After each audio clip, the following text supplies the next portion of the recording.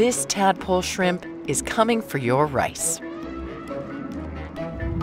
Hungry hordes of them find their way into the rice fields of California's Central Valley and go to town munching on the young seedlings.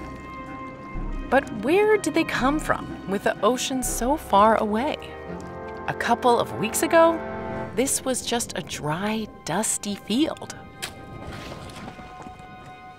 Turns out, they were here all along.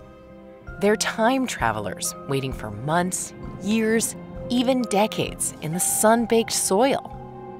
Each spring, when rice farmers flood their fields and scatter their seeds, they inadvertently create the perfect conditions for billions of tadpole shrimp to awaken. The egg's rugged outer shell, called the chorion, cracks open, and the larva wiggles its way out of a translucent sac.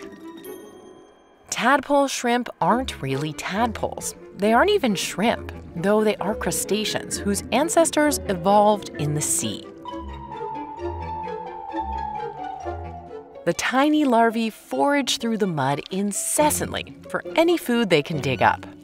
They're not picky. But as they grow, they really acquire a taste for rice plants. They chomp away at the first tender roots and leaves just when the seedling needs them most. Without roots to hold them down, the young plants just float away. And if it loses its first leaves, a seedling can't get enough energy to grow.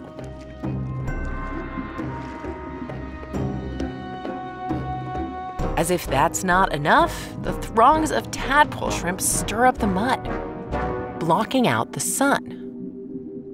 But the rice plants that do manage to break the water's surface are safe. Their roots and stems are thick and tough enough that the tadpole shrimp leave them alone. At that point, tadpole shrimp are actually kind of helpful. They turn their appetites to any weeds that make their way into the rice field. They even eat the larvae of mosquitoes that could carry West Nile virus when they grow up. Once the tadpole shrimp mature, they lay their eggs in the mud. And then they're done. Adult tadpole shrimp only live for about a month. The secret to these armored arthropod survival is their eggs. At the end of the growing season, farmers drain their fields so they can harvest the rice on dry ground. No water? No problem. The eggs can survive being completely dehydrated for years. Their tough outer shell protects them from scorching heat, freezing cold, even time itself. The embryos inside just stop developing. They enter a suspended state called diapause. That's what keeps them from hatching in a dry field.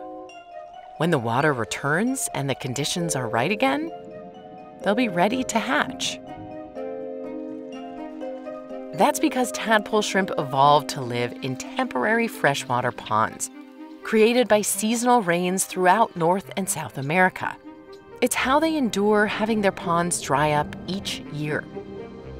They've been living this way for hundreds of millions of years, since before the dinosaurs, waiting out droughts, changing climates, even global catastrophes. In a world where the future is unpredictable, tadpole shrimp are the ultimate survivors. Hey, it's Laura.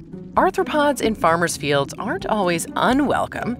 Like Persimilis mites, they drop from drones by the thousands to protect the strawberry harvest.